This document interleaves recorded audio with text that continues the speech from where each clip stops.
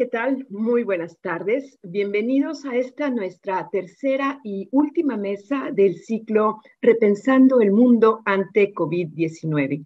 Como ustedes saben, hemos tenido en estos tres días una serie de reflexiones a cargo de profesores investigadores de la Escuela de Humanidades y Educación del Tecnológico de Monterrey en torno a aquella encuesta que hace unos meses lanzara el filósofo y antropólogo francés Bruno Latour, incitándonos a pensar el mundo después de esta pausa en el capitalismo global que significó eh, nuestra reclusión en casa debido a la pandemia COVID-19. Él lo vio como una oportunidad para pensar un regreso diferente y nos invitaba a pensar qué sectores nos gustaría ver volver, cuáles no nos gustaría ver volver y de qué manera se podían reconvertir.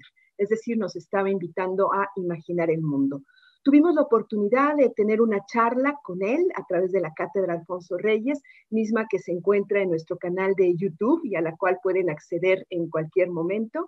Y decidimos tomar la estafeta y repensar el mundo desde tres perspectivas eh, diferentes e importantes. Una, la tecnología y la sociedad, ciencia, tecnología y sociedad, que tuvimos el miércoles pasado. Ayer tuvimos una sobre educación y brecha digital y hoy tenemos una sobre las nuevas ciudadanías, cómo ser ciudadanos del mundo en, esta, eh, nuevo, en este nuevo contexto en el que nos deja la pandemia COVID-19. Y para ello hemos invitado a eh, tres investigadoras de nuestra escuela. Ellas son la doctora Ivonne Cepeda, la doctora María Concepción Castillo y Natalia Vargas. Muchísimas gracias a las tres por haber aceptado la invitación y cedo la palabra a la doctora eh, Judith Ruiz, Ruiz Godoy, quien es decana de la Escuela de Humanidades y Educación en la región sur. Judith, bienvenida, buenas tardes, tienes la palabra. Muchas gracias, Ana Laura. Gracias a la Cátedra Alfonso Reyes por esta invitación. Y pues para mí es un privilegio estar reunida con tres de nuestras investigadoras, pues más consolidadas en la Escuela de Humanidades y Educación. Y como ya nos hizo favor Natalia de platicar un poco y como hemos escuchado en las mesas anteriores, pues partimos del contexto de la conversación que tuvimos con Bruno Latour, en donde él comentaba que es necesario hacer un alto que nos permite precisamente este aislamiento para repensar la ciudadanía. Voy a permitirme dar un breve contexto y después daré la palabra a nuestras invitadas de esta tarde. Cuando hablamos nosotros de volver a la normalidad, se le agrega este adjetivo de la nueva normalidad. Sin embargo, es mucho más que esto, porque estamos viviendo ya un status quo insostenible. Hace un par de días publicaron precisamente un artículo en Le Monde y señalaban que esta pandemia es una cuestión de supervivencia. Y sí, por supuesto que lo es, pero también es una cuestión de dignidad humana y de coherencia. Vivimos ya una catástrofe ecológica, esta crisis en la que climáticamente vemos la extinción masiva de la vida en la Tierra y todos los indicadores anuncian a una amenaza directa para nuestra existencia. La contaminación, el calentamiento global, la destrucción de espacios naturales, la desigualdad social, la inequidad de género. Y por esas razones, pues es cada vez más insostenible y parece impensable volver a una normalidad. La normalidad ya es un estado de crisis. De ahí que nos ocupa en esta mesa hablar de este rol de la ciudadanía. La pregunta con la que me gustaría iniciar el diálogo con mis colegas es, ¿por qué es necesario hablar de una nueva ciudadanía ¿Qué implica reconstruir, repensar y reflexionar sobre esto? ¿Cuáles considerarían que son las características y prácticas de esta nueva ciudadanía post-COVID? Me gustaría iniciar dándole la palabra a Ivonne Cepeda. Ella es doctora en estudios humanísticos con especialidad en ética por el TEC de Monterrey. Actualmente se desempeña como profesora y como investigadora de la Escuela de Humanidades y Educación pertenece al Sistema Nacional de Investigadores y entre sus temas de investigación se encuentran tolerancia, ética, estudios de paz, reconocimiento, dignidad y filosofía política. Adelante, Ivonne, te escuchamos y bienvenida a esta mesa.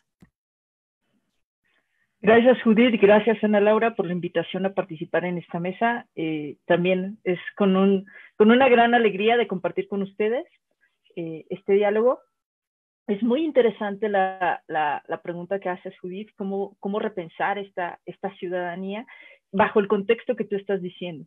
Si bien la pandemia nos presenta ante una circunstancia en la cual todo se ha detenido, y lo pongo entre comillas, porque en realidad hemos tratado a, a trastabillas de seguir con la rutina o con lo cotidiano de nuestra vida, en realidad se nos ha forzado a, mantenernos eh, en este confinamiento, pero este confinamiento es como un impas, en donde toda actividad económica, hay actividades económicas, hay actividades sociales, actividades políticas que se han detenido. Y eso no significa que los problemas que ya estaban antes estén resueltos. Al contrario, este, este espacio o este momento eh, de suspensión de actividades en realidad ha traído o ha, mostrado cómo estos problemas que habíamos escondido bajo la alfombra, que no molestaran mientras no los veíamos, brotaron. Y nos damos cuenta que tenemos todavía estas circunstancias ecológicas, políticas y sociales no resueltas. Y ecológicas está todo el tema del cuidado del medio ambiente, de que la pandemia o la forma en cómo se ha dado este virus es un reflejo de nuestra falta de cuidado del medio ambiente y nuestra sobreexplotación del medio ambiente, pero también tenemos todo lo que tiene que ver con desigualdades sociales eh, y políticas eh, a flor de piel. Y esto tiene que ver con eh, el sentirnos vulnerables y sentirnos vulnerables frente a lo, que, a lo que sucede a nuestro alrededor. Y yo quisiera de manera rápida introducir también esta vulnerabilidad nos obliga a pensarnos en relación con el otro y es donde entra esta necesidad de pensar y repensar la nueva ciudadanía, nuestra relación con el otro, que, tenemos que pensarla desde una relación en cómo nos cuidamos y cuidamos del otro. Y ahí voy a dejar para abrir mesa a diálogo y ahora sí que a discusión con, con mis colegas. Adelante. Muchas gracias, Ivonne. Yo creo que en efecto tendríamos que hablar también de este cuidado del otro y como bien lo señalas, pues los problemas ahí están bajo la alfombra, ¿no? Y hay algo que en este, que en este momento precisamente queda a la luz, que se visibiliza. Vamos a darle la palabra ahora para conocer su opinión a nuestra otra colega que nos acompaña en esta tarde, María Concepción Castillo. Ella es miembro del Sistema Nacional de Investigadores, nivel 1, es doctora en estudios humanísticos por parte del TEC de Monterrey y fundadora del Seminario de Estudios del Cuerpo en nuestra misma institución. Es diseñadora y docente de la materia de antropología del cuerpo, miembro de la, Asociación Mexicana de Investigadores de la Comunicación y de la Cátedra UNESCO de Ética, Cultura de Paz y Derechos Humanos del TEC de Monterrey. Bienvenida, Connie, esta tarde y pues adelante, el micrófono es tuyo. Muchas gracias, muchas gracias a la Cátedra Alfonso Reyes, igual a Judith, Ana Laura por invitarme es un privilegio estar también pensando con mis compañeras y, también pensar en colectivo o pensar que eh, la reflexión siempre sea colectiva.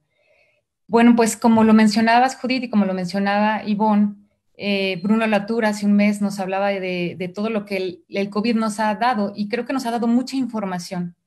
Eh, parte de esta información ya lo mencionaron ustedes, es como un virus tan chiquitito y microscópico eh, rompió o resquebrajó el relato del sistema económico neoliberal global como algo que no se puede tener, como, algo imparable, como algo invulnerable, ¿no? Entonces, este pequeñito virus hace, me lo imaginaba como un hacker pensando en la teoría de la Tour, que llega y conforme se va dispersando, eh, se hacen grietas. Y en estas grietas, que es el impasse del que habla Yvonne, nosotros es que podemos cuestionarlo todo y, y esta imaginación de la que nos hablaba Ana Laura, esta imaginación política se puede dar pero también la TUR nos advierte que puede ser exactamente también lo contrario. Es decir, que otros grupos también pueden plantear otra suerte de revoluciones y que tal vez la revolución venga de otro lado. En ese sentido, creo que es urgente pensar en una nueva ciudadanía. No creo que solo es importante o es una oportunidad, sino creo que es urgente pensarla de manera radical. Y cuando digo de manera radical, es desde la raíz. Yo observo que hay ah, en las conversaciones que he escuchado en los medios, al menos dos enmarques o dos formas de enmarcar el problema. De estos dos enmarques, observo que se pueden articular dos diferentes tipos de ciudadanía. La pregunta es, ¿qué queremos? Un enmarque es el que ustedes han compartido, eh, pues una crisis civilizatoria, ¿no? Un enmarque más robusto, más eh, amplificado, en donde podemos ver que no se trata solamente de una cuestión de salud, sino es una cuestión de salud y que tiene un antes, ¿no? Y tiene profundidad, escalas y y, enmarques, como dice Nancy Fraser, ¿no? Un, un, enmarque de esta naturaleza justo nos permite tener una imaginación política este, eh, distinta y a lo mejor empezar a hablar de una ciudadanía que se enraice en otras ontologías. Pero está el otro enmarque, ¿verdad? Un enmarque que, es, que solo lo deja como una crisis sanitaria, como una pequeñita, o sea, crisis de salud que hay que resolver, porque bueno, claro, hay que resolverlo, no nos, no nos queremos contagiar, sin embargo, eh, que eh, se enraiza en el proyecto ontológicamente en el mismo, no cuestiona. El problema es que este enmarque nos está llevando a, un aislamiento y, a, una, política de control y diría una biopolítica totalitaria, a mi juicio, porque creo yo como Rosy Braidotti que el capitalismo no muere, el capitalismo muta, y, este, y entonces, en ese sentido, me parece eh, muy delicado y en América Latina tenemos muchas experiencias de violencia sociopolítica que si nosotros lo cruzamos con esta, esta biopolítica que puede ser totalitaria, pues deberíamos estar los ciudadanos hablando de esto ya. ¿Qué, qué queremos y cuál es la nueva normalidad a la que se nos invita? Con esto yo quisiera comenzar. Muchas gracias, Connie. Pues como tú misma lo señalas, hay muchos temas entretejidos en lo que nos estás compartiendo y creo que precisamente va a ser labor de esta mesa irlos desentrañando para ver qué es lo que queremos, ¿no? ¿Qué, ¿Cómo imaginamos esta nueva ciudadanía, cómo la repensamos? Vamos a darle la palabra a Natalia Vargas a continuación. Me permito presentarla. Ella es, eh, pertenece al Sistema Nacional de Investigadoras, es doctora en Sociología por el Colegio de México, coordinadora de investigación de la Escuela de Humanidades y Educación del TEC de Monterrey y es miembro también de la Cátedra UNESCO en Ética, Cultura de Paz y Derechos Humanos del Tecnológico de Monterrey.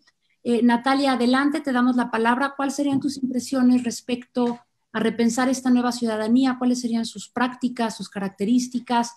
El micrófono es tuyo. Adelante, Natalia. Gracias, gracias, gracias. Gracias, Ana Laura. Gracias, Judith. Gracias, eh, la cátedra, mis compañeras. Eh, por ahí a, la doctora Dora Alvira, que está atrás también eh, pensó la, la, mesa, también le agradezco a la distancia, ojalá nos pueda estar viendo. Eh, ¿qué, qué, qué, puedo decir yo? Me, me, me, me, gusta mucho todo lo que plantearon mis dos compañeras de la mesa, de las sabiendas que iba a ser algo muy, muy interesante. Eh, yo probablemente en este punto una llamada a, a pensar, ya lo introducía Ivonne, eh, a pensar que, eh, digamos, que, que, todo esto que se está recrudeciendo efectivamente en, en, en tiempos de COVID y por la cuarentena y por cómo se, se pensó la cuarentena, hace, hace, parte de una trayectoria histórica y temporal de América Latina, y retomando muy bien lo que dijo, lo, lo, que nos, nos, compartió Connie, y, em, y no solo de América, eh, digamos, de América Latina como región, pero de México como, como país, eh, hace parte, es una trayectoria, digamos, que viene de, de lejos, de, de de hace mucho, eh, estas injusticias de, que, también eh, se, traslapan de género, de clase, de etnia, eh, y que en, en, en, estos tiempos de COVID lo que hacen son volverse más urgentes, profundizarse, volverse aún más, digamos, tejerse más, hacerse más múltiples y tomar, y tomar más fuerza, pero, pero también tiene de bueno, digamos, que, que, que, la, que la pandemia lo hace eh, incómodamente evidente, o sea, que tenemos que estar por lo menos desde la academia hablando de esto porque es que está ahí viéndose. Eh, y, y, yo creo que, que estamos, con, eh, digamos, más que invitadas, invocadas y, y a platicar sobre, sobre este tipo de, temas. Em, yo pensaría que, la, que, la, que el nuevo vínculo ciudadano, la nueva afiliación ciudadana tiene que pasar por, esa, por ese momento incómodo que nos está haciendo vivir la, la pandemia y desde ahí eh, pensando en, en, la tour también y en lo que nos deja él, eh, pensar más eh, no en lo social, sino en lo que asociativamente la acción de asociarse nos puede volver a, a permitir en estos tiempos en que efectivamente, tal como lo introdujiste tú, eh, eh, Judith, eh, se presenta todo, todo crítico y todo, todo en, en crisis, efectivamente. Muchas gracias, Natalia. Pues sí, es un hecho que ya de por sí vivíamos esta crisis que, que, bien comentan. Y ustedes mismas ahorita nos han comentado varias veces que esta pandemia ha hecho visible, ha hecho evidente muchas de las inequidades que vivimos. A mí me gustaría que ustedes nos comenten un poco más acerca de esto, cómo es esta visibilización eh, que ha traído esta situación de la cuarentena. Y en este sentido, pues yo tendría dos preguntas. Eh, ¿No estaremos acaso también romantizando la cuarentena como este lugar en donde de pronto aparecen los italianos cantando en los balcones o es el momento de reflexión donde vamos a encontrar un nuevo rumbo?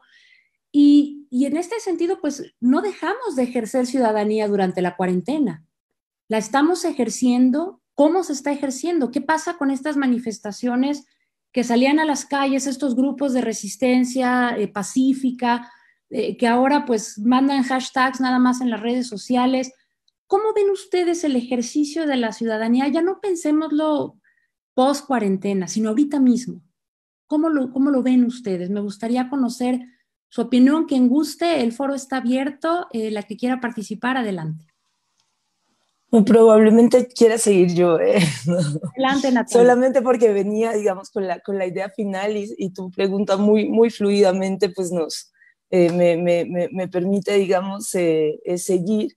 Y yo creo que efectivamente había, yo creo que la cuarentena, la cuarentena ahora, como dices, y está bien pensarlo como, como tiempo de ahora, porque ya lleva meses, o sea, ya no es eh, dejó de ser ese, eso, ese momento que coyunturalmente está ocurriendo para ser tres, cuatro y vamos a ver cuántos más meses. Entonces ya eso es un periodo de tiempo en sí mismo y pasan cosas allí en sí mismas. Entonces, eh, yo diría que se está pasando, eh, eh, yo, yo sería de la idea de que se romantizó en un primer momento, como la idea de volver todos a casa, de, de que allí estaban estos justo hashtag de que todavía están, pero bueno, de quédate en casa, de stay at home, de yo me quedo en casa, de todo esto, pero digamos, al volverse una cuestión de más de dos semanas, que era lo primero, los 15 días de incubación de la enfermedad, que se supone que eran los que uno se quedaba tal cual como en casa, eh, a meses y meses. Entonces, ahí ya empieza a ocurrir algo que es que eh, cuando, cuando, pienso yo que es cuando la casa se vuelve este entorno, eh, digamos, de, en el que todo ocurre, ahí hay, eh, digamos, necesariamente se, se, politiza aquello privado. Y ahí vamos eh, poco a poco entrando en la cuestión del, del, cuidado, porque es, el cuidado es también de lo primero que, que, de lo, digamos, que ocurre en lo doméstico, que es muy invisible, pero que cuando ocurren estas, estas eh, situaciones, necesariamente se hace visible Mm, esperemos a ver si eh, eh, se valora más o menos, si se, si se, mm, si se busca también hacer una práctica política y, y, sus actores se vuelven actores políticos y, y, ese paso de lo doméstico como meramente privado a, a que tenga visos públicos es esto que, si quieren lo, ahondamos después de la, de la cuidadanía, que es la, la, categoría con la que se está nombrando, la posibilidad de que el cuidado sea el germen de ciudadanía y ya no los grandes, eh, las, las, filiaciones, digamos, legales eh, o las grandes filiaciones políticas, sino algo muy pequeño que pasa, digamos, en este caso en casa,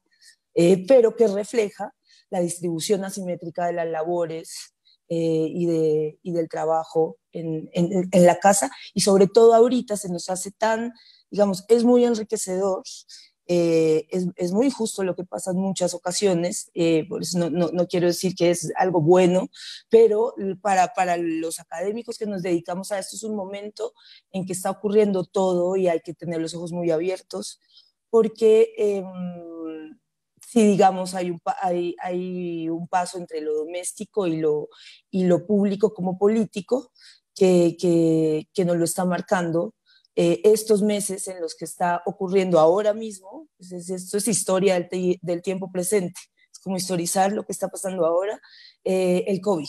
Entonces, sencillamente yo creo que justamente sí hubo, hubo una época de romantización, pero creo que ahora ni el más, eh, eh, digamos, ni el más espiritual de los espirituales puede salirse de la idea que aquí ya está pasando algo, en que esa distribución asimétrica y desigualdad de, la, de, la, de las sociedades eh, se puede negar.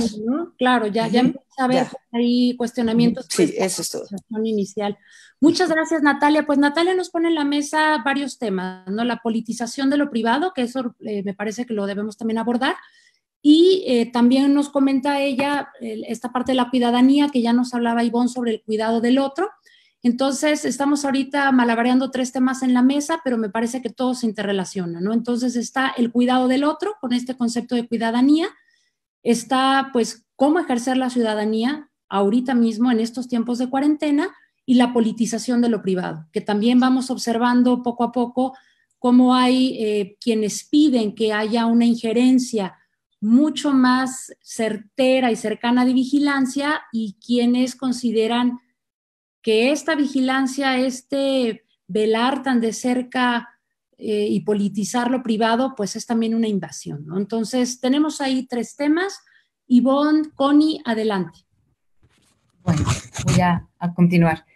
Cuando yo estaba en mi intervención hablando de este eh, nuevo super soberano eh, económico y tecnológico, ahorita que hablabas de la tecnología, que se prepara, creo que para vigilar, también para castigar, reprimir y extraer toda la información posible de los ciudadanos. Digo, tuvimos el caso de Jalisco, de este joven que no traía su cubreboca, ¿no? Y, todo lo que sucedió. Entonces, sí, eh, yo hablaba de este súper soberano, ¿no? Y creo que yo no creo que esta biopolítica totalitaria no es que esté exagerando. Hemos escuchado las eh, frases de algunos millonarios del mundo, Judith, donde nos hablan o nos relatan que la economía sufre y hay algunas personas que pareciera que tienen que pagar con su vida, ¿verdad? Como un sacrificio por el capitalismo, para que volvamos a la normalidad y quisiera volver a, pensar en esta normalidad eh, y en las normas. Estoy hablando de biopolítica y pues la biopolítica tiene unas normas, ¿no? Es que cuando yo oigo normalidad, digo, esta nueva normalidad, ¿cuáles van a ser estas normas? Van a ser estas del super soberano que nos dice a quién debe hacerse vivir y a quién debe dejarse morir.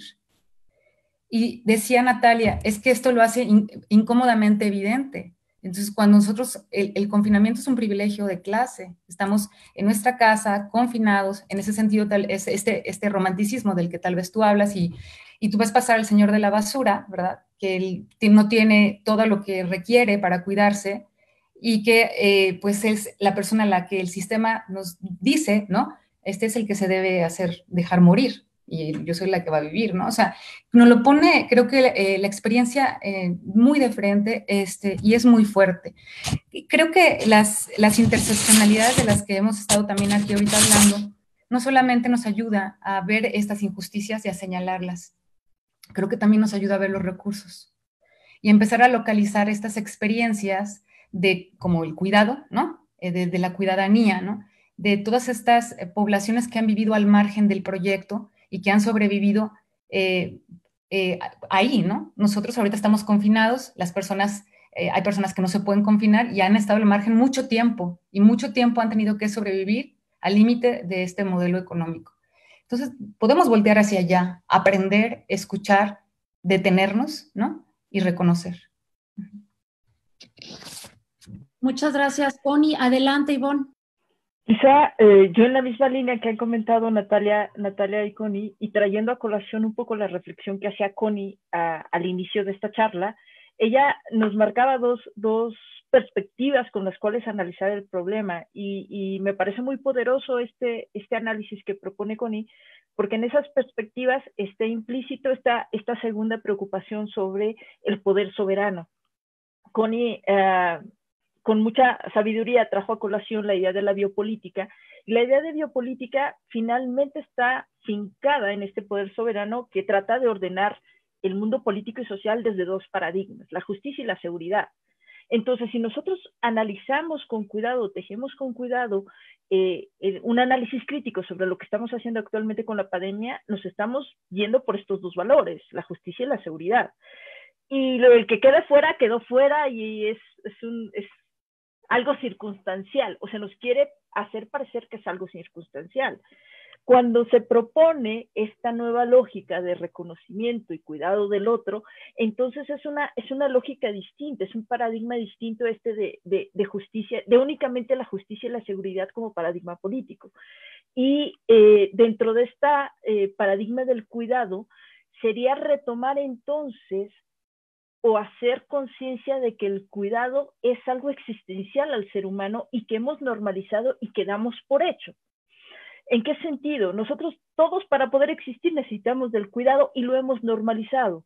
Eh, desde un ejemplo muy sencillo, el hecho de que una ciudad esté limpia necesita de todo un equipo de limpieza y sanidad de la ciudad que damos por hecho para que entonces no haya focos de infección y demás, y, lo hemos normalizado. Pero nosotros si tejemos más fino cómo es dentro de este equipo de sanidad o de estos elementos que, que dan limpieza a una ciudad actualmente, cómo viven y sobreviven en, en, una situación como lo tenemos, vemos que no tienen, como decía Connie, no tienen eh, los aditamentos, pero no solamente no tienen los aditamentos para cuidarse, viven en zonas donde ahí entra toda una, una lógica de urbanización, donde no tienen la posibilidad de tener distancia social, porque sus mismas condiciones económicas y sociales no se lo permiten. Entonces, la oportunidad que tenemos ahorita es una oportunidad, eh, yo diría, maravillosa también porque nos permite repensarnos desde esta lógica de cuidado que es más inclusiva con el otro.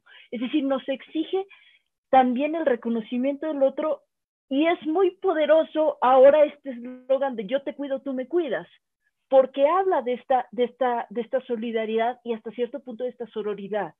No en balde han surgido este, este tipo de eh, también movimientos o, pues sí, movimientos sociales dentro de las redes sociales que hablan de cuidarnos del otro también dentro de los espacios privados, porque ha habido un, un encono de violencia adentro de estos espacios, violencia de género, violencia intrafamiliar, y hablan de este tipo de movimientos de, oye, yo te cuido haciendo una señal para decirte que estoy en problemas y decirte que tengo problemas y no te lo puedo decir porque aquí está la persona con la que tengo problemas. Entonces, eso también son eh, oportunidades de cómo nos repensamos. Y la ciudadanía tenía que o tendría que repensarse desde esta necesidad de cuidado del otro, porque es también cuidarnos nosotros. Es, es no solamente hablar del yo individual, sino es de un nosotros. Y sobre este nosotros ir construyendo algo más en común. Muchas gracias. Gracias, Iván, por tu comentario. Creo que en la mesa, y nos comenta Pepe Porcayo a través de las redes, Foucault está vivo y pues claro que está presente, ¿no? En, estas conversaciones. De hecho, yo creo que si llevamos un poquito más allá el término de biopolítica, estaríamos hablando de una necropolítica en donde también encontramos que, bueno, pues el que no pudo sobrevivir en este sentido a la pandemia, pues qué lástima, ¿no? Es circunstancial, como bien lo comenta Ivonne. Y en ese sentido, a mí me gustaría eh, traer a la mesa, si esta es una oportunidad, si este es un momento en el que nosotros podemos repensar y aprovechar, ya que tenemos de manera mucho más visible estas inequidades, ¿cómo podríamos hablar ahora de la colectividad? qué implicación tendría ese cuidado del otro de manera colectiva. Y volvemos un poco al, elefante que tenemos, ¿no? ¿Qué hacemos? ¿De qué manera ejercer esta ciudadanía desde la contingencia y hacia, pensando hacia el futuro cuando pase este momento? ¿Cómo podríamos tener prácticas del cuidado del otro en este sentido? Creo que eso es algo que podríamos construir, podríamos conversar para saber qué acciones tengo yo que hacer cuido, y nos comentaba Ivonne fuera de, este espacio de la mesa, pues las personas que están eh, en las calles dando servicios, eh, la persona que barre, la que recibe, el de seguridad, el de los hospitales, no tienen muchas veces ni el material para cuidarse. Entonces, ¿cómo como ciudadano puedo yo cuidar de ese otro, construir una colectividad en una contingencia que me tiene encerrado en casa? ¿Cómo ven? No sé, Natalia, si nos quieras comentar. Sí, sí, yo, yo quisiera también eh, ahí eh, hacer una, una, una, primera reflexión.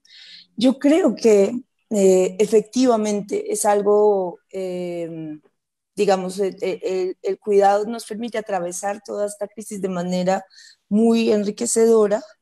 Eh, que, eh, creo como Ivonne decía, que hay, que hay algo pasando dentro de casa, sin necesidad, digamos, microsocialmente, eh, sin necesidad ni siquiera de, de, pensar en, en, en, el afuera o, o, en lo público como, como, lo, lo, como afuera, no, no, pero sí, sí creo que eso que está pasando en la, en la, en la casa no deja, aunque sea adentro, no deja de ser público.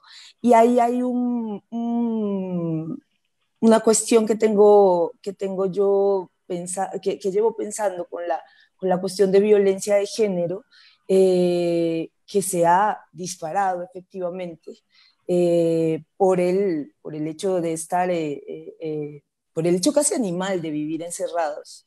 eso, eso, eso está ahí y pienso que también ahí hay una responsabilidad importante, no solo entre, la, entre los binarios varón-mujer, o entre los binarios generacionales, niños eh, eh, o infantes, eh, adultos, sino del Estado mismo, de la forma como reguló esta, esta, esta pandemia.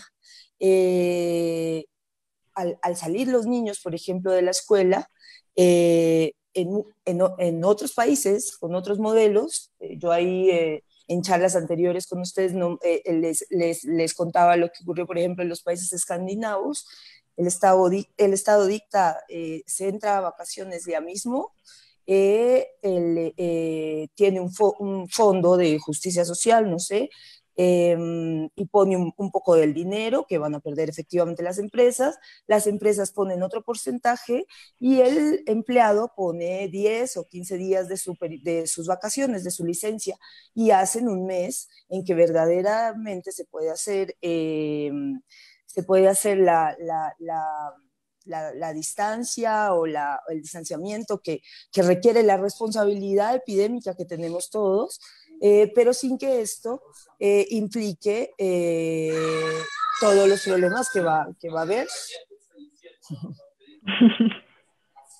venga, venga, el caso aquel gritillo. Gracias, Natalia. Es parte, ¿no? También, precisamente, del trabajo en casa, justo platicábamos nosotros al inicio, ¿no? Bueno, también tiene otros retos. Y como tú mencionas ahorita al inicio, estamos encerrados, es una cuestión instintiva también. Es casi animal. Es lo que tienes. Muchas gracias, Natalia. Vamos a, dar la palabra a Connie, que la pidió. Adelante, Connie. Tenemos ahí también una preguntita en el chat que ahorita la abordamos. Adelante, Connie.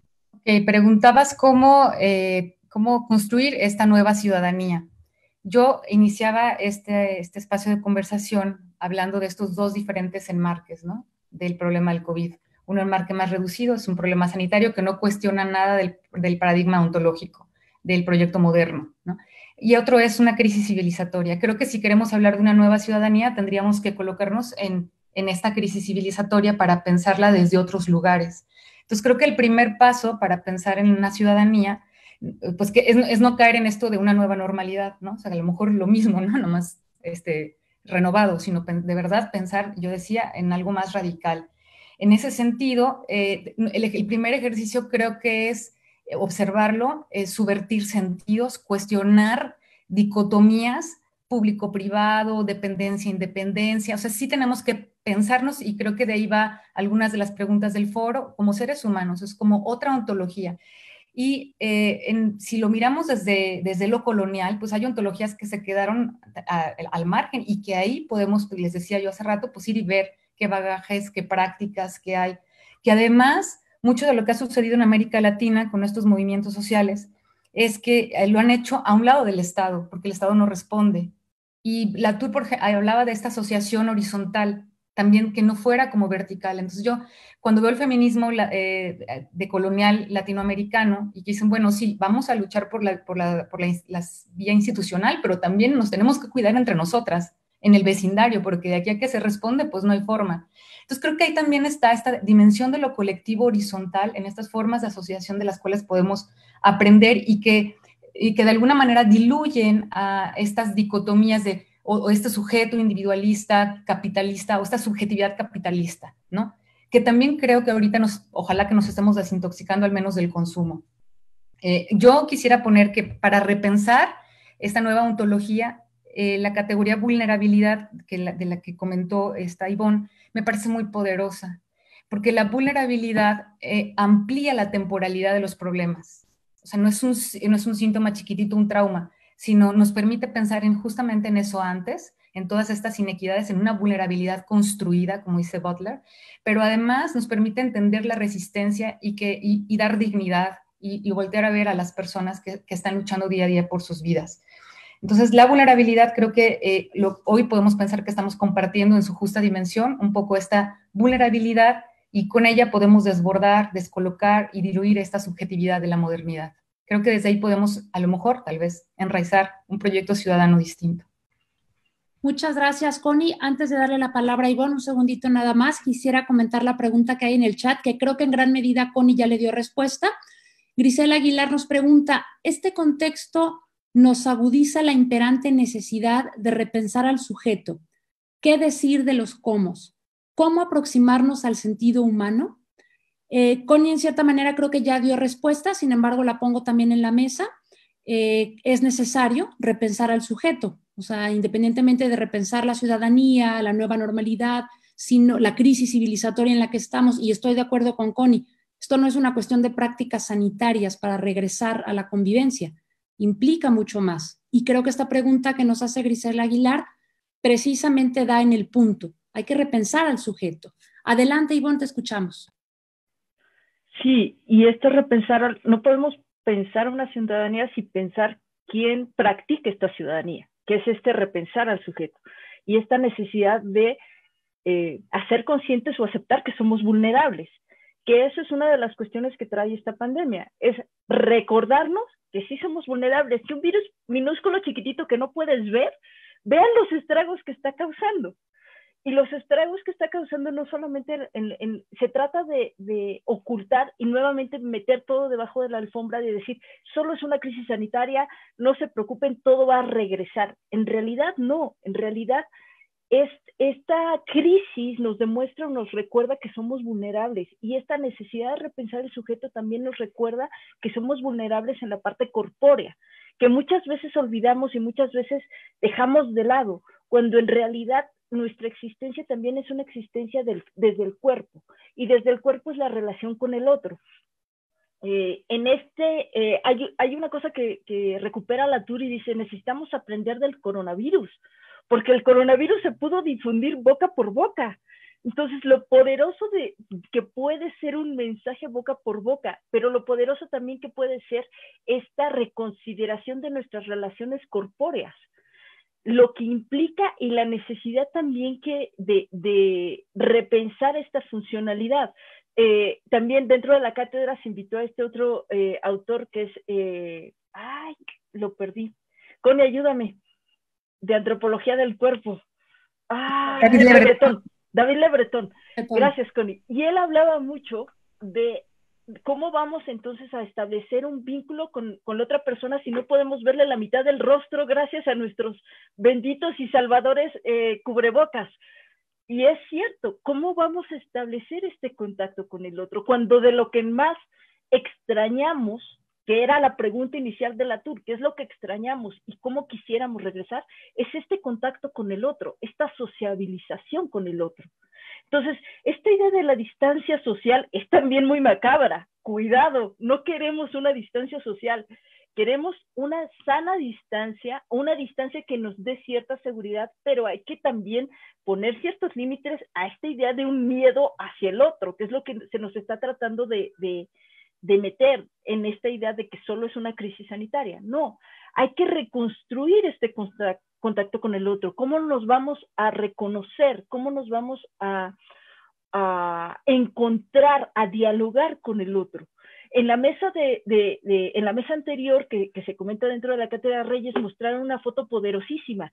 De, tenemos un movimiento social y cada uno está tratando de ser parte de este movimiento social con una cierta distancia, también cuidando de que si alguno tiene alguna enfermedad, ya no sea el coronavirus, alguna enfermedad, pues cuidamos este, este no dañar al otro. Entonces, este también eh, reposicionamiento del sujeto habla del cuidado, pero también de una responsabilidad. Yo te cuido, tú me cuidas, es una responsabilidad atrás del otro. No solamente es yo te cuido para que a mí no me pase nada, no, a ver, este tejido social, esta solidaridad también se teje dentro de cómo soy responsable de que al otro no le pase nada. Y entonces toda esta reflexión que hacía eh, Hans Jonas cuando hablaba de la responsabilidad de, de mantener una vida digna, no solamente para nosotros, sino para generaciones futuras, nos llega con todo, con todo el peso de una responsabilidad de cómo cuidamos del otro desde la parte física, la parte de corpórea, pero también la parte mental, la parte espiritual del ser humano. Y eso es algo que se exige y es algo que tiene que ir de manera complementaria con esta razón política, esta razón de justicia, esta razón de seguridad, porque si no volvemos a tener este embate del que hablaba Connie, de que eh, una revolución que quiera normalizar las cosas a como eran antes de la pandemia, y eso sería como no haber aprendido nada de esta pandemia. Por supuesto. Muchísimas gracias, Iván, por tu comentario. Voy a retomar ahorita dos puntos. Uno, sobre lo que comentaban de eh, pues de que finalmente el COVID, la pandemia fue boca en boca, por ahí dicen en broma que ya quisiera el cambio climático el publicista del COVID-19, ¿no? Porque en realidad esto se difundió de una manera tremenda y si bien es un gran problema, pues se suma a parte de la crisis civilizatoria que ya hablábamos, que es el cambio climático. Por otro lado, y antes de leer la pregunta que nos hace Verónica Mondragón, quisiera presentar a dos grandes, no ausentes, sino presentes, como ya lo decía Natalia hace un momento, agradecemos mucho a Dora Elvira García, quien ha estado presente en esta conversación de muchas formas eh, y a quien agradecemos que nos haya convocado. Y también a Alejandro Camargo, quien trabaja con su grupo de investigación, bueno, todos ustedes son miembros también de ese grupo, el término de cuidadanía, que precisamente combina, y ya nos lo comentaba también Natalia, esta parte de la ciudadanía con el cuidado del otro. Si no cuidamos al otro, pero como bien dice Ivonne, en esta cuestión entretejida, en esta cuestión solidaria, pues finalmente vamos a quedar todavía con un distanciamiento no nada más por cuestión sanitaria, sino una distancia entre los sujetos. A raíz de eso nos pregunta Verónica Mondragón, los que tenemos el privilegio de mantener el confinamiento, de generar reflexiones, de pensar en ese otro y esa reconstrucción, ¿Estamos dispuestos realmente a interactuar con ese otro que se mantiene afuera? ¿Cómo cuestionar y cómo pensar integrando ambas comunidades? Esta pregunta me parece muy relevante porque de entrada ya estamos definiendo los que tenemos el privilegio de cuidarnos y los que a ver cómo le hacen para sobrevivir dentro de esta biopolítica o necropolítica que ya conversábamos. Adelante, Ivonne, te escuchamos. Eh, ahí hay que tener cuidado porque cuando hacemos esa distinción de los que tenemos el privilegio, cómo vamos a convivir, si, si analizamos un poco más fino, nos vamos a, dar cuenta que atrás hay una política del miedo. Pues sí existe, pero no me le quiero acercar porque me vaya a pegar algo. Entonces, el, miedo es, una, es la emoción política más, más poderosa y con la que más juega un orden soberano porque es ese miedo el que muchas veces nos hace dejar de lado otros valores u otras actitudes que serían importantes dentro de una comunidad para, para fortalecer un tejido social y, prefiero la, sobrevivencia de, del individuo por miedo. Entonces ahí hay que tener cuidado. Y, la, tanto Latour como, como Le Breton nos, nos proponían el pensar en pequeños ejercicios de acercamiento con el otro.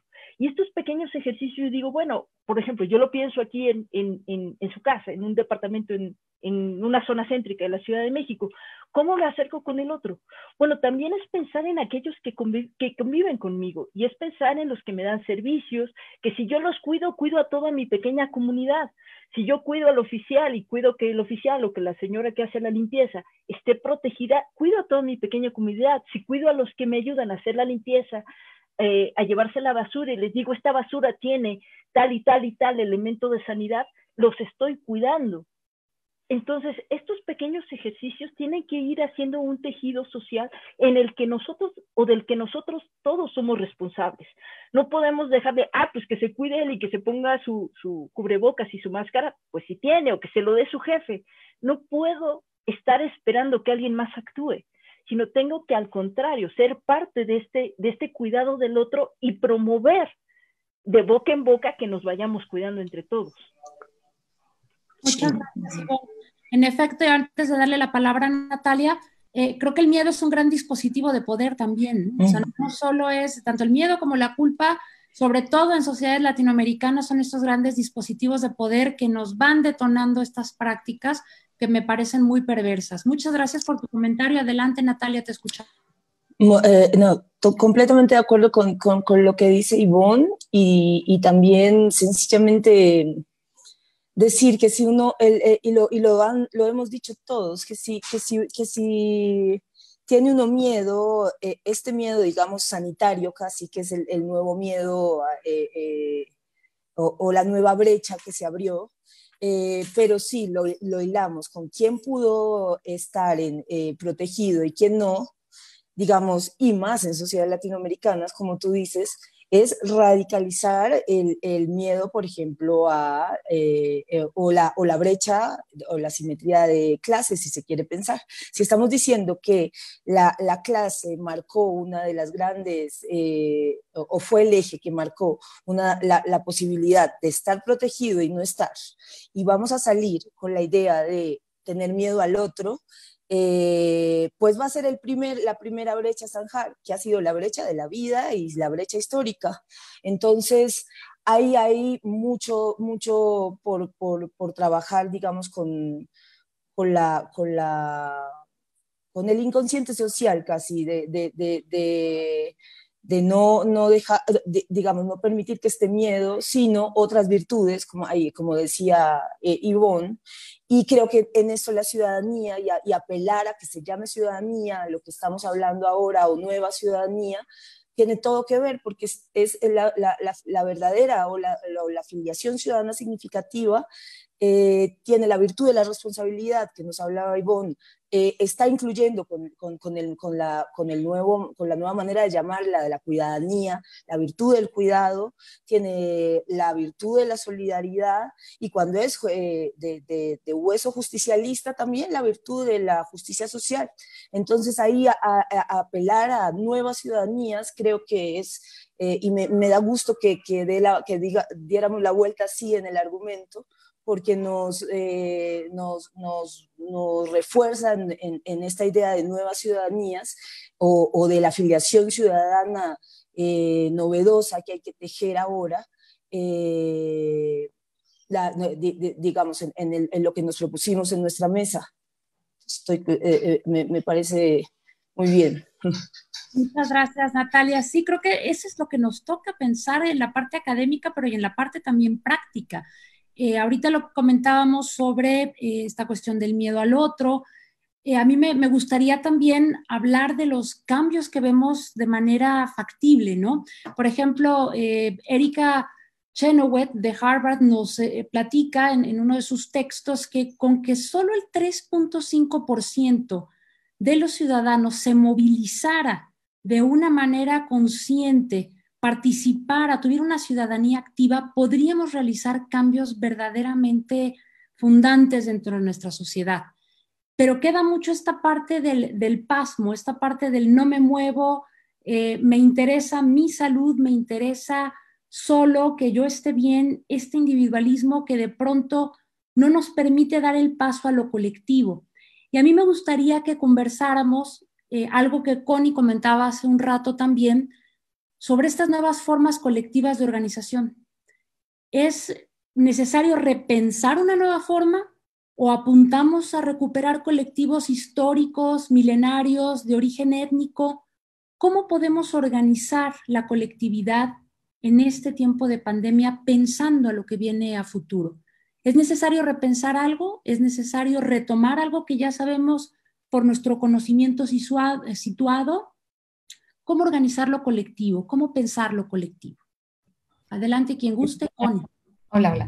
Quisiera, bueno, voy a ir un pasito atrás a la pregunta o el comentario de Verónica Mondragón, que me gustó mucho, porque de alguna manera nos lleva a, preguntarnos en la, práctica, o sea, estamos ya llegando a esta parte del, conversatorio y es, pues bueno, ¿y ahora qué hacemos, no? Después mis compañeras hablaban de esta parte del miedo y yo quisiera pensar en esta figura de que, bueno, eh, hay que salir del miedo, este, pero no de la vulnerabilidad, que es distinto.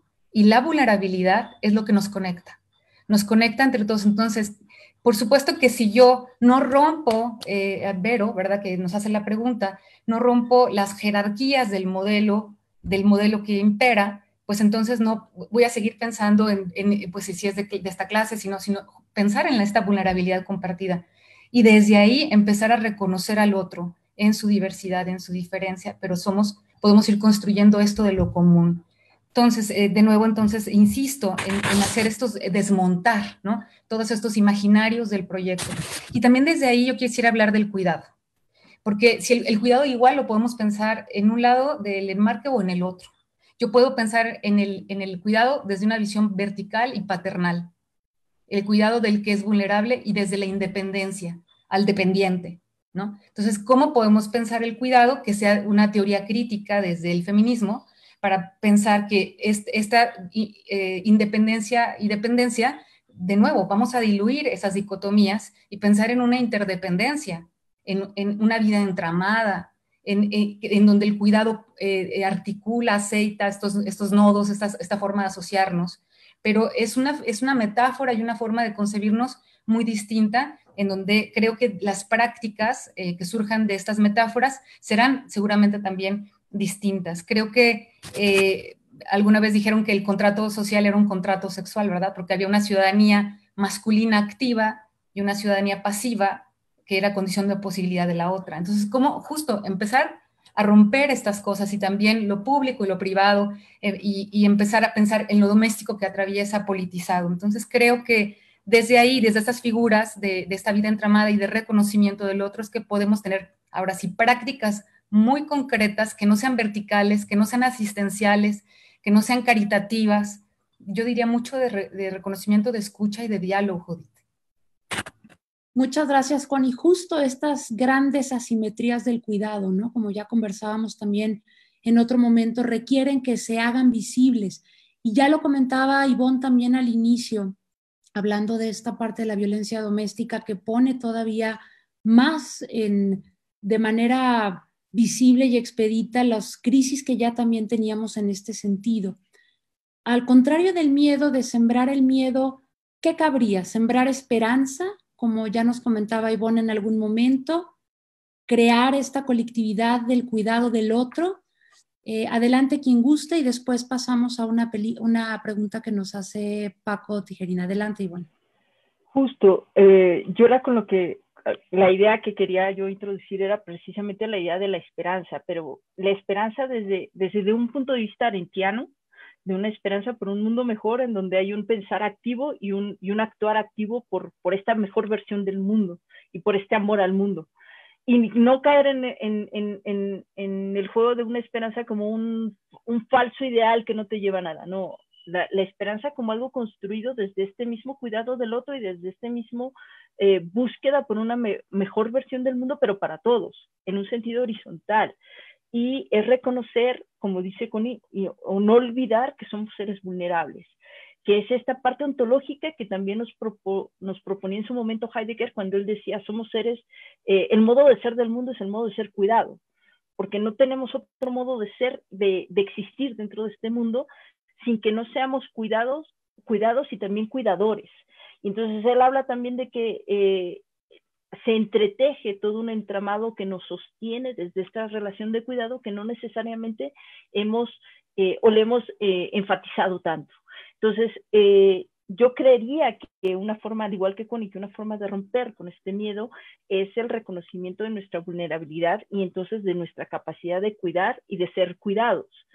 Y esto es poderosísimo pensando en que nos obliga entonces este reconocimiento y esta responsabilidad por el otro, que ya otros autores han manejado como Fraser, como Fonet, como Levinas, pero que ahora es más tangible porque eh, en mi actuar cotidiano nos estamos cuidando. Muchas gracias, Ivonne. De hecho, creo que, eh, y en sintonía con lo que Connie dijo también, esta parte de no tener miedo no implica no reconocernos vulnerables, ¿no? Como tú bien lo señalas también, Ivonne. Voy a permitirme leer una pregunta de Sandy Chávez Sánchez y después vamos a la de Paco Tijerina, porque la de Sandy Chávez va directo con lo que Ivonne está compartiéndonos. ¿Cuáles son los alcances del cuidado del otro sin que esto signifique un lavado de manos del Estado o el traslado total de responsabilidades al ciudadano, el sujeto ciudadano, ciudadana. Saludos desde Ecuador. Gracias, Andy, por estar eh, con nosotros en esta mesa también. Ahí, si, estás, si, puedo, eh, saludos, Andy, desde, desde Ecuador. Yo soy de, de Bogotá, de, de, Colombia. Sé que en Ecuador la están pasando mal con el, con el con el COVID y con la regulación del COVID. Yo también creo que hay que tener dos eh, eh, miradas desde, eh, digamos, de la, de la, del, cuidado como, como, como práctica efectiva que está ocurriendo desde, desde casa, como el cuidado como ese eje que puede volver a lo que está pasando en el espacio doméstico ahora, que se volvió, digamos, por primera vez, esto es algo que hemos estado esperando, si se dan cuenta, mucho tiempo, que lo, que lo, que lo privado y las feministas mucho tiempo, que lo privado se pueda politizar, se, se pueda volver público. Eh, efectivamente, creo que, que, que que aquí, que, a ese nivel, digamos, eh, eh, más de, lo, de los sujetos está ocurriendo algo, pero efectivamente al macro nivel tampoco hay que quitarle la responsabilidad.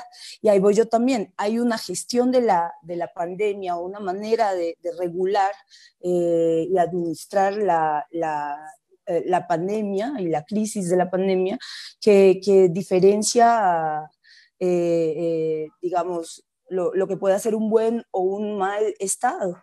Entonces también eh, eh, efectivamente no, que no todo, digamos que, que, que, que, no al nombrar el cuidado o al, o al, o al apelar al cuidado como la categoría que queda que nos permite atravesar este, este tipo de situaciones como la que estamos viviendo en la pandemia, implique que eh, solo la responsabilidad, o sea, volver a que la responsabilidad cree en los sujetos o en lo micro y olvidar lo macro. Yo creo que hay maneras de hacerlo, hay algunas ya teóricas también que están eh, viendo que el, cuidado tiene que volverse una categoría política, una categoría politizada, eh, para que no vuelva a quedar como, digamos, que no sea que te des cuenta que no hay cuidado, que no se cuidaba y vuelva a quedar el ciudadano y sobre todo la ciudadana, eh, sobre todo si es madre soltera, sobre todo si es pobre, sobre todo como la culpable de no haber dado cuidados, entonces, o de no cuidar de la manera que, debería ser. Entonces, es, es, como que el cuidado no se nos vuelva nuestro, nuestro propio, digamos, que que al visibilizar el cuidado, no seamos los propios ciudadanos eh, o, las propias ciudadanas las que quedemos otra vez con la responsabilidad única, sino que de alguna manera el cuidado nos permita politizar esa práctica y salir eh, y, digamos, no, no, y, no, dejar de domesticarla, sino volverla algo, algo político y algo, y algo público. Efectivamente sale desde casa, pero que, no, que visibilizarla no sea responsabilizar a los de siempre, me refiero. Gracias, Natalia. En efecto, no, asumir una responsabilidad más, sino trasladar realmente una práctica activa de un ejercicio ciudadano en una práctica política que no se deslinde del Estado, de la responsabilidad que tiene.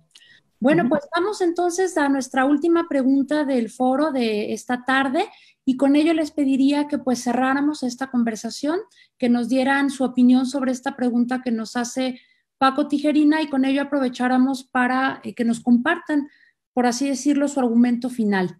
Eh, Paco nos pregunta, ¿cuáles podrían ser las posturas y acciones que se pueden tomar desde la academia, pensando en la formación de sujetos modernos? ¿Cómo integramos estos postulados que hemos estado conversando para la reformulación de la sociedad, pensando, por ejemplo, en los estudiantes, pensando en nuestros alumnos, pensando en efecto en que pues nosotros estamos con una labor muy intensa en las universidades detonando estas reflexiones. Continúa Paco diciéndonos, pues nuestros alumnos y alumnas siguen operando en un mundo globalizado que gira en torno al capital y a la opresión. ¿Cómo hacer para que reconozcan lo contradictorio sin alcanzar o sin detonar un desánimo. Nos la pone fácil, Paco, ¿no? ¿Qué hacemos en la formación de nuestros estudiantes? Le damos la palabra a Connie, luego a Ivonne, después a Natalia y con esto cerramos nuestra mesa. Adelante, Connie, te escuchamos. Muchas gracias. Paco, pues me da mucho gusto cerrar eh, contestando esta, esta pregunta tan interesante que nos haces. Yo pienso que la academia es una institución que norma, ¿no? Entonces ahí está y no es eh, inocente los currículums que tenemos y la manera en la que abordamos la educación, socializa. Entonces me parece que si estamos en esta coyuntura, pues a lo mejor pensar en una educación no normal, ¿no? O empezar a imaginar hacer cosas distintas, poner textos distintos, etcétera. Yo quisiera, porque tenemos muy poco tiempo, platicarte de una, iniciativa ciudadana que me encantó, eh, que es del colectivo Aluna en la Ciudad de México eh, y que podrías, no sé, tal vez eh, trabajar con tus estudiantes. Se llama Hackear la Pandemia. Y lo que se trata es de hackear narrativas, o sea, es a través de relatos y dicen ellos, como narradores, cuentacuentos, artistas, comunicadores, este, radialistas, periodistas, hackers culturales, tenemos una responsabilidad sumamente importante en la crisis extendida que se avecina, hacer de lo radical un sentido común, crear relatos que agrieten muros, que abran la imaginación para crear otros futuros posibles. en su página hay cosas maravillosas que se pueden utilizar como ejercicios en la formación de los estudiantes desde una formación no normal. Muchísimas gracias, Connie, por tu participación en esta mesa. Espero que no sea la última, sino que podamos seguir conversando. Adelante, Ivonne, te escuchamos. Sí, gracias. Efectivamente, la pregunta de Paco es, es muy interesante y muy sugestiva.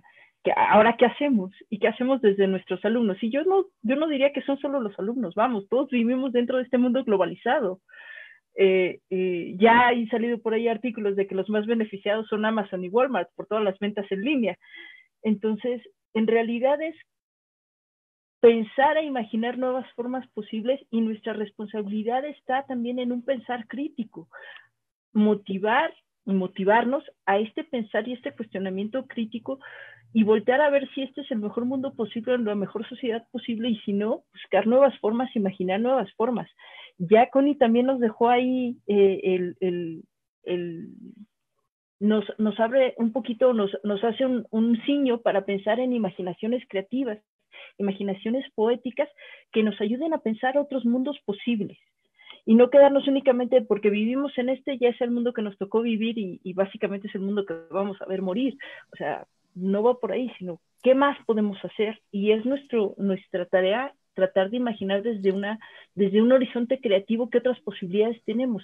Y entonces invitar a los alumnos quizá también a pensarse dentro de este horizonte creativo eh, a partir de obras de teatro, a partir de, de role plays, qué más pueden hacer y ellos encontrarse en la, en, en la posibilidad de ponerse en los zapatos de otra persona y generar empatía con otra persona. Muchísimas gracias, Ivonne. Muy evocativa y evocativa tu sugerencia. Creo que por ahí va el camino de las humanidades. Adelante, Natalia, te escuchamos. Pues yo pensaría para, eh, y agradezco también la, la, pregunta del profesor Tijerina, que, eh, que hay algo que aprovechar, digamos que yo pensaría que sería el primer paso eh, con, con, esto de, de, de, la pandemia y de lo generado por la pandemia, que es por lo menos nos permite eh, antes, no, no, digamos ya empezar a, a, proyectar, antes de proyectar, darnos cuenta de lo que venía pasando, que estaba eh, eh, por allá en esas capas y en ese palimpsestro social allá escondido, en, en ese último eh, palimpsestro es un, es un, término arqueológico, en esa última capa de la, de la sociedad por allá, en la, en la estructura metido, sin, eh, de la estructura y la cultura, de la sociedad y la cultura, perdón, y nos permite verlo.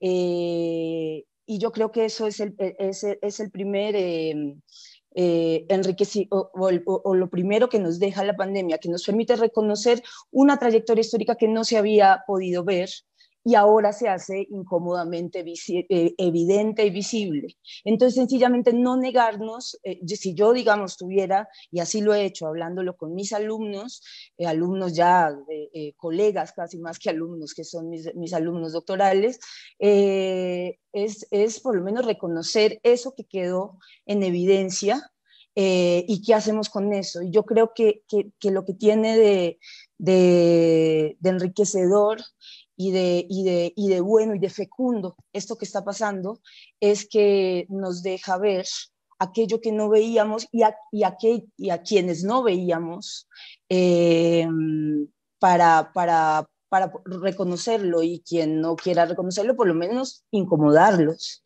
Entonces, eh, yo empezaría por ahí eh, con alumnos. Muchísimas gracias. Pues en realidad estamos cerrando esta mesa con mucho pesar porque creo que hay muchas cosas que podríamos seguir conversando. Y pues retomando, recapitulando un poco lo que hemos conversado, quiero retomar las palabras de Ivonne, de Connie de Natalia. Eh, creo que el papel que nos toca en donde estamos situados actualmente es imaginar mundos posibles. Desde las humanidades y de la mano con la ciencia, caminar con saberes multi, inter, transdisciplinarios para visibilizar, analizar, reflexionar, verbalizar y sobre todo actuar.